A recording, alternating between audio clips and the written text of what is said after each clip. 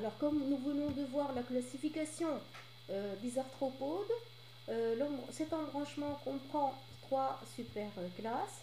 Une qui est euh, fossile, ce sont les trilobites, les chélicérates qu'on vient de voir à l'instant, et il y a la superclasse des mandibulates, parce qu'ils ont des mandibules chitineuses, ou des antennates, parce qu'ils ont des antennes au niveau de la tête, qui sont des organes d'essence.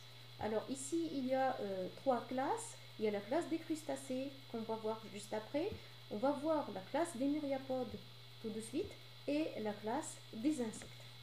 On commence par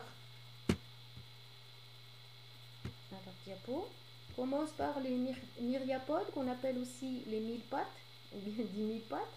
Il y a deux ordres, l'ordre des kilopodes et l'ordre des diplopodes. Alors kilopodes parce qu'il y a une paire de pattes par segment, diplopode parce qu'il y a deux paires de pattes par segment. Là vous avez le scolopendre et là c'est l'iule.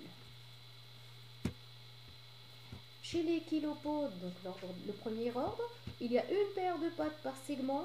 Il y a la première paire d'appendices du tronc.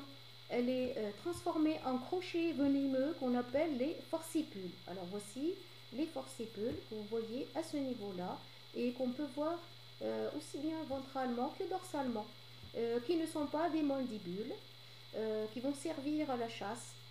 Euh, le corps est aplati et les antennes sont longues et ce sont des prédateurs. Et bien sûr, il y a plusieurs espèces. Alors là, c'est la lithobie ou lithobius. Euh, vous avez ici le géophilus ou le géophilum. On va voir d'autres exemples. Alors, les kilopodes sont des opistogonéates et possèdent un orifice génital à l'extrémité du corps et des pièces génitales aussi articulées qu'on appelle des gonopodes à l'extrémité. Voilà les gonopodes pour cette espèce, pour les tobius, les gonopodes qui sont à l'extrémité euh, du corps. Les gonopodes, bien sûr, l'orifice génital se trouve à ce niveau-là, vers l'arrière de l'animal. C'est pour ça que ce sont des opistogonéates.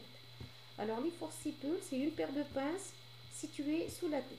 Voilà, ici, les forcipules qui correspondent à la première paire d'appendices euh, thoraciques. Alors il y a euh, scutigère, euh, qui est un kilopode. Il est anamorphe parce que, euh, comme l'ithobius d'ailleurs, les antennes sont très développées, plus de 100 euh, articles. Regardez les antennes chez Scutigera. Nombreuses fois sensitives sur les pattes. La dernière paire de pattes est palpiforme. Regardez la dernière paire de pattes, comment elle est. Et les dernières paires de pattes sont dirigées vers l'arrière. Les autres sont dirigées vers l'avant. Ça, c'est une caractéristique de euh, Scutigera. Alors, anamorphe, c'est leur type de développement. Un développement se fait par anamorphose lorsque l'individu, la- l'œuf euh, ou la larve, est différent de l'adulte et qu'il complète son développement au fur et à mesure euh, qu'il passe d'un stade à un autre, par opposition à épimorphose où euh, le jeune, c'est un adulte miniature. Alors Géophilus et Scolopendra, que vous voyez ici, alors là, ils sont épimorphes, ça veut dire que le nombre de segments est fixé à l'éclosion et que le jeune, est, euh, c'est un adulte miniature. Il y a, peu d'ocelles et le déplacement, il est sinueux, ils sont de grande taille.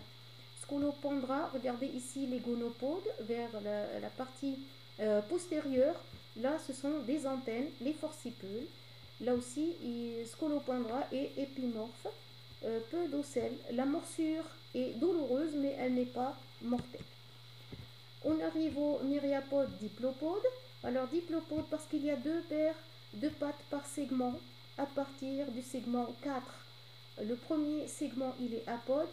Le deuxième présente une paire de pattes et, les- à partir des trois premiers segments présentent une seule paire de pattes. À partir du segment 4, on a fusion de deux métamères et c'est pour ça qu'on a deux paires de pattes par segment. Mais euh, le on ne voit qu'un seul métamère et deux paires de pattes par, euh, métamère. Alors là, vous avez l'exemple de Glomerus, vous avez l'exem- l'exemple de Liulus qu'on appelle liule en français. Euh, ce sont des espèces qui recherchent l'humidité. Alors voici le détail d'un diplopode. L'orifice génital, il se trouve dans la partie antérieure du corps.